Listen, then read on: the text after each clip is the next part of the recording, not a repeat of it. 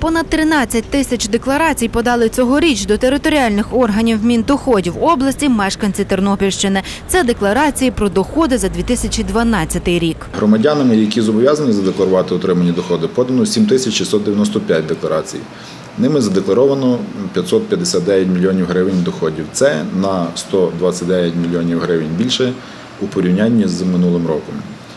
Е, За наслідками декларування у 2013 році платникам нараховані податкові зобов'язання у сумі 16,3 мільйони гривень, що майже на 8 мільйонів гривень більше ніж у попередньому році. Декларації про доходи понад 1 мільйон гривень подав 21 мешканець Тернопілля. Це на 10 мільйонерів більше, ніж торік, кажуть в обласному управлінні Міністерства доходів та зборів.